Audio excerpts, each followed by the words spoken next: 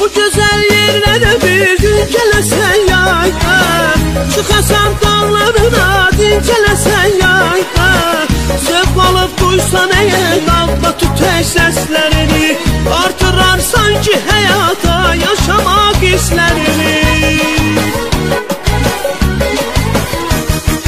Kent havası bu